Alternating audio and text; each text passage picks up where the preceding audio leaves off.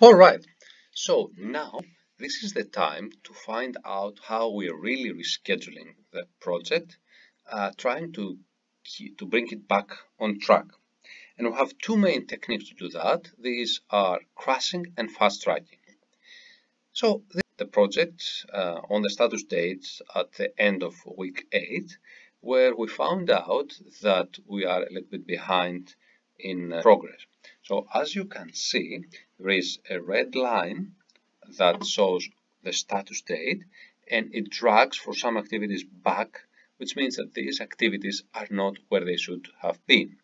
What where they should have been is exactly on the line. So the progress bar, which is the blue bar inside the red or the blue bars, is the smaller bar here, the thick dark blue bar, should have been up to the status date. Then the project would be on time. So now this is not the case. As we explained in previous video, the first thing that you need to do in such a situation is measure, try to find out the level of the problem. Is it a big problem? Is it a small problem? And in very simple networks like that one, obviously you can tell by just looking at it.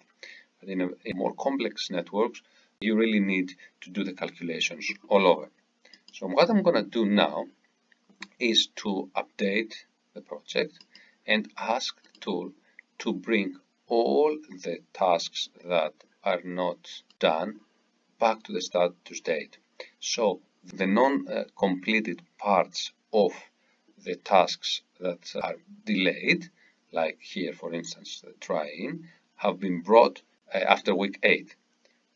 And this is the new Gantt chart, that part right of the line that uh, we have at hand.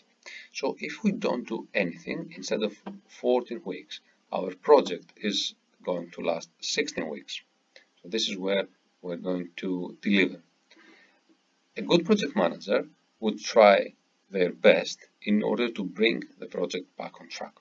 And as I said, we have two techniques that we can utilize. The first one is crashing. Crashing usually comes with a cost and you cannot crash as much as you like because there are technical constraints as well. Of course, the other thing before before we go to, to see which activity we're going to crash, there is no point in crashing or fast tracking a non-critical activity because that will not bring the project back in time.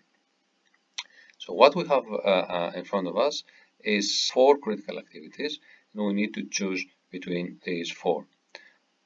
Let's go for utilities first fix and let's say that this activity instead of four weeks is going to last three.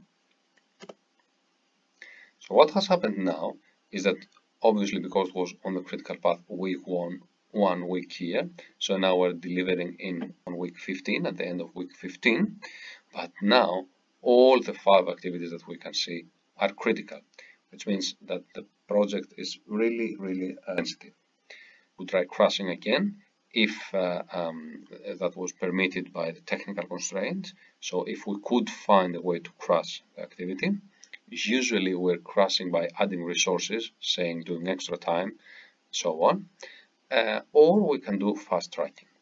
Um, let's do fast tracking now. The fast tracking will be for activity inspection. So fast tracking means that I execute in parallel a part of an activity that would initially be programmed to be executed in sequence. So you see that inspection was supposed to start after the finishing the completion of second fix and glazing. Now I say, just a moment, I'm in a hurry. Why don't I start inspecting the finished parts of second fix and glazing so that I win one week and I bring my activity one week before. I have to fast track for both activities, for both, uh, uh, I'm fast tracking inspection, but towards both second fix and glazing. Otherwise, it would have stayed where it was. So now I have managed to bring the project back on track by applying crashing and fast tracking. Crashing activity for utilities first fix here and fast tracking for one week here and fast tracking for another week of inspection that I will start a little bit early, earlier. Now, as uh, I said before, crashing usually comes with a higher cost, but fast tracking comes with a higher risk because you will be inspecting things while other people would be working. So you have more people working in an area and for instance you might uh, increase the uh, health and safety risks on one case.